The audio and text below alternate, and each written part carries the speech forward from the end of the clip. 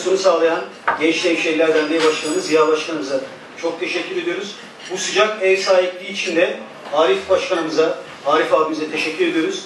Gerçekten hemşehrilerimizle e, herhalde geçen de bir buluşma yapmıştık. Bu ikinci buluşmamız.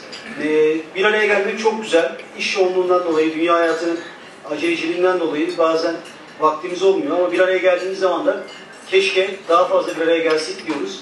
Hepinize hayırlı Ramazanlar diliyorum. İnşallah daha fazla bir araya gelelim. Burada ayrıca çok kıymetli misafirlerimiz var. İstanbul'dan Kazım abimiz geldi bilirsiniz. Nebiyat Başkanımız. Onun da İstanbul emeği çok fazla. Ee, Ziya Başkanımız da sağ olsun burada çok hayırlı bir iş yapıyor. Özellikle öğrencilerle iş dünyasının buluşmasını sağlıyor. Hepinize hayırlı Ramazanlar diliyorum. Hayırlı akşamlar diliyorum. Afiyet olsun.